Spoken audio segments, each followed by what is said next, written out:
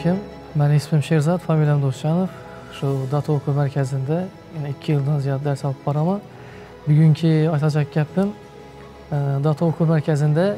ikki yuz yigirmachi gruppa haqida bu gruppani bolalari boshqacharoq bolalar ekan shu vaqtgacha o'qitgan bolalarimga nisbatan endi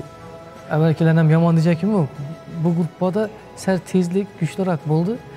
chunki hozir bu gruppamizda 3d maxni 15 darsini o'tdik. Bugungi temamiz render edi. To'g'risini aytadigan bo'lsam render o'tganimizda уже bundan 3 3 dars oldin render o'tib ketgandik shunda 3 dars oldinda yuribdi bular kamida. Render deganimiz endi shu bolalar chizib turgan narsani realniy ko'rinishiga kelish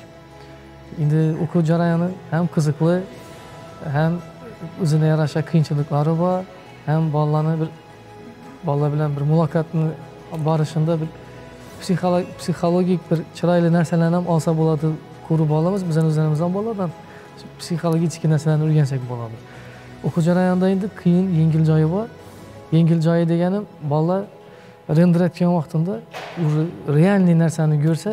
настроенияsi boshqacha bo'ladi ularni ko'rib biz ham xursand bo'lamiz ha qiyin joyi shu